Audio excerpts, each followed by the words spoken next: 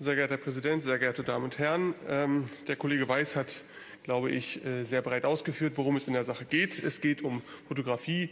Einschränkungen in, öffentlichen Parks. Äh, diese Fälle gab es, diese Fälle sind medial aufgegriffen worden. Und Herr Zimmermann, da können Sie jetzt einfach nicht drüber hinwegreden, dass es eben solche Verbote ganz konkret in Berlin gegeben hat. Der, der Piratenantrag greift diese Fälle auf und versucht, solche Friktionen für die Zukunft zu vermeiden, indem er sagt, der Senat soll hier die rechtlichen Gegebenheiten klarstellen. Er soll quasi eine Genehmigungsverfahren da einführen, äh, wo es notwendig ist und ansonsten klarstellen, dass man natürlich in den Berliner Parks uneingeschränkt fotografieren kann.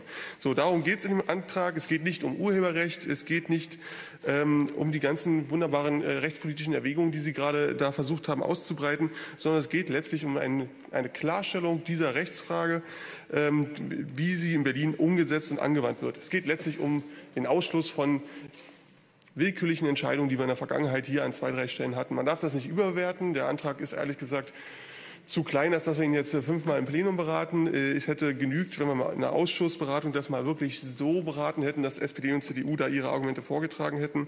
Aber man muss den Piraten und dem Antrag schon zugestehen, dass er ein wenn auch kleineres Problem aufgreift, das in Berlin einfach so stattgefunden hat. Und deswegen äh, ist es sinnvoll, das so zu machen. Und deswegen ist es auch sinnvoll, diesem Antrag zuzustimmen. Und damit will ich es auch bewenden lassen.